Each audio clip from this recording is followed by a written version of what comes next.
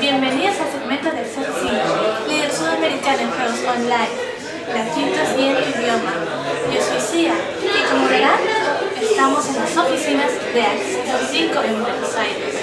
Vamos a conocer la ciudad un poco y a conocer un poco a nuestro Game Master y personas que trabajan aquí. Estamos ahora con la Community Manager, bueno, ya muchos ya la conocen, y la han visto en el acceso 3, es Dialmi. Hola Yalmi, este, ¿cómo estás? Muy bien, mucho gusto.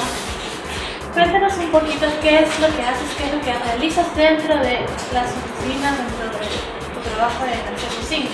Bueno, yo soy Community Manager, la parte latino, estoy a cargo de cinco juegos. Eh, uno es Audition, eh, el otro es más Caro, Ace, y bueno, estamos eh, trabajando en- con los GMs, sea, mi equipo es directo con los Game Masters de la empresa y lo que hacemos es, bueno, realizar eventos, eh, comunicaciones en Facebook y bueno, más que nada estar en contacto como moderadores globales con la comunidad. Yo ya van a ser tres años que estoy trabajando acá. Eh, comencé como Game Master de lo que era Audition Latino, ya muchos me deben conocer, no por cara, es la primera vez que me conocen, pero eh, bueno, hay muchas. eh, trabajar acá con muchos de los chicos, empezamos con New Sam, Nicky, que ahora son Pro Manager o Community Manager, así que hicimos muchísimo, no sé, estaría horas contando cosas que vivimos.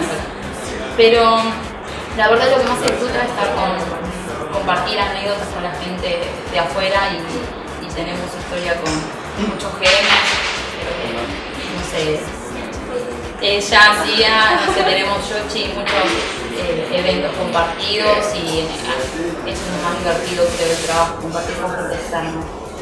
¿Cuál es tu juego favorito de acceso 5? Bueno, es obvio, es Audition, eh, no dejo de ser viciosa del juego. Eh, cuando puedo, en mis tiempos libres, me meto a jugar el juego, comparto con Yalmi o si no con un montón de personajes que tengo. Eh, pero la verdad no, no puedo dejar de jugar, siempre intento superarme un poco más, eh, noche direcciones, chances y todo lo nuevo que sale. Soy muy fanática de la ropa, lo primero que hago es eh, con un poco de cash para comprarme algo porque eh, lo primero que hago digo, "Baby, ¿qué hay, qué hay, adentro? Y ya nos metemos igual que Nido, las dos somos muy adictas a lo que es la moda, así que es lo primero que intentamos hacer dentro de lo que es audition. ¿Algo que quieras promocionar, no sé, implementar, o venir, implementar?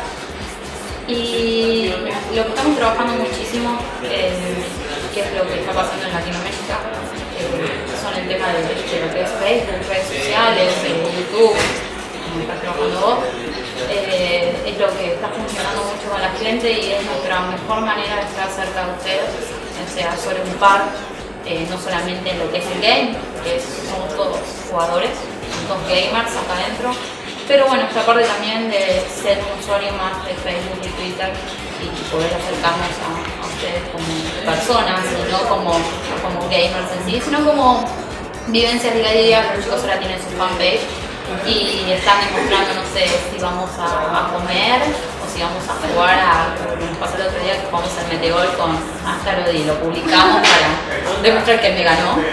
Pero, no sé, eh, demostrar que somos jóvenes y que disfrutamos de, de todos los usuarios. Espero que estén disfrutando de todos nuestros juegos, eh, que bueno, nos dejen todas sus opiniones porque nosotros siempre estamos mirando eso, tanto en lo que es Facebook y foro, todos los games a la expectativa de qué opinan ustedes y es muy importante la opinión del usuario para nosotros porque de ahí podemos empezar a trabajar y revisar nuevas ideas y, y nuevo contenido para que bueno, la diversión sea tanto en el juego como fuera y que todos podamos vivir un buen ambiente de lo que es ser gamer. Y eso fue una parte de las entrevistas que realizamos allá en Argentina. Ya la próxima semana seguiremos con estas entrevistas. Eh, ahora les quiero contar de que se vienen grandes novedades para RuneScape Latino, así que vamos a verlo.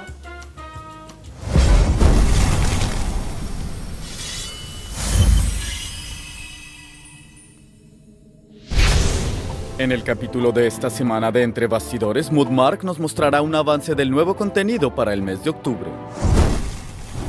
For a long time now, I've been writing a behind the scenes article every single month. we've decided that we're going to put it on video to give me the opportunity to go to a little bit more detail about the awesome content that we've got coming out each month. And this month is the October content. Something gorgeous, something tactile, something that looked like it was made from the hide of creatures. The drops will be added to a range of Slayer creatures and you'll need really high crafting levels to be able to make the equipment fully. The next thing I want to talk to you about is the Rebuildathon that will be going on in Lumbridge this month. It's a new version of our holiday events. We didn't want to do just another Halloween. We don't want to get to a point where we're scraping the barrel when it comes to generating ideas, so we decided to do something a little different. You'll be working with a geezer called Foreman George, who's an interesting chap, and you'll have to grill him for information to work out how best to take apart the war camps that have been set up next to Lumbridge and use the materials to rebuild Lumbridge itself. We've got two cracking new trees coming out in October as well. We've got elder trees and crystal trees. You'll be able to make new bows, you'll be able to burn the logs for awesome fire making experience, and chopping down those trees will be the best woodcutting rates available in the game. These new trees work slightly differently to the rest of the trees in the game, so you'll have to work together to get the best rewards from them. I challenge you to find all the secret messages that the developers have hidden in all the new tree content that we're releasing post on the forums and let me know what you found. We've had a lot of feedback from the players on the forums that the dark bow really wasn't quite good enough, so we've decided to increase its level and add some absolutely brand new shiny arrow drops to the dark beasts themselves. Finally this month, and perhaps the most exciting thing that we're releasing, is a new quest called Missing Presumed Death.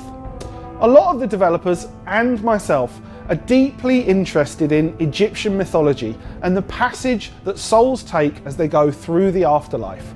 This quest touches on some of those ideas. There's one more thing I wanted to talk to you about, and that's two new shiny outfits that we've got coming out into the game. We challenged the graphics artists to come up with some really wacky ideas, and they've come up with a crazy skeleton outfit and a mad gothic outfit that you'll be available on Solomon's store later this month. Next week, Mod Ollie will be here to talk a little bit more about missing presumed death. I'll be back at the end of the month to field any of your questions that you've had while playing through this month's content. See ya! No se pierdan el próximo capítulo de Entre Bastidores, donde hablaremos acerca de la nueva misión, Desaparecido y dado por muerto. Que bueno, llegamos a los saludos. Quiero mandar saludos para eh, Frank Lupaca, para Javier Campuzano, para Jope, para Claudio, para Andrés, Ricky Rocker y Fede. También tenemos saludos especiales de Rey Yosimar, que manda saludos para la gente que participa de los eventos físicos en Tacna, y un saludo para su amigo Patachín, el nuevo Trictor de Tacna. También para la familia Fan Madness, eh, de parte de Jefferson. Un saludo para Venancio Cristian, de parte de Andrew. Un saludo para la familia de Chorrillos, Anime Fan y su líder Hans y todos los integrantes de toda Sudamérica de parte de Jorel Loncha, Helen y Beneditos. También un saludo para Nenita TQM que está en Guacho y se le extraña mucho y la quieren un montón de parte de Julio, quien también envía un saludo para Rosalía Díaz, su amiga que está durmiendo seguro, y su hermana Evisita Zabaleta y Hans que bueno, obviamente no sabe qué está haciendo.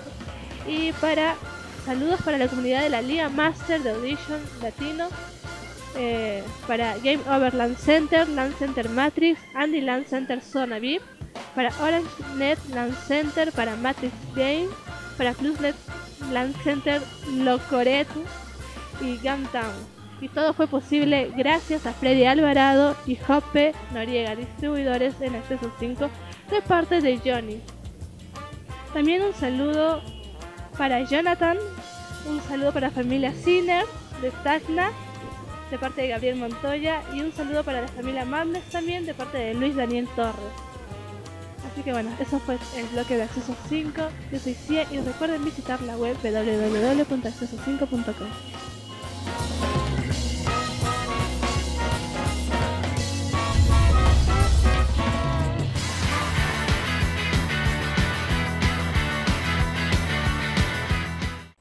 juego de cartas coleccionables Yu-Gi-Oh! El regreso del monstruo que lo comenzó todo. Dragón blanco de los ojos azules. Protagonizando un completamente nuevo y listo para jugar Structure Deck. Domina el poder de los dragones. Saga del dragón blanco de ojos azules. 41 cartas por deck. Se vende por separado. Konami.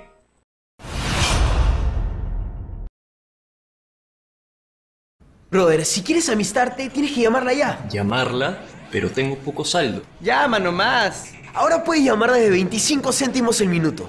Pero no tiene claro. ¡Llama nomás! Con tu Claro prepago hablas celulares o fijos de Claro, Movistar y Nextel. Y con la promo te cuesta igual. Pero está en Piura. ¡Llama nomás! Que es a todo el Perú.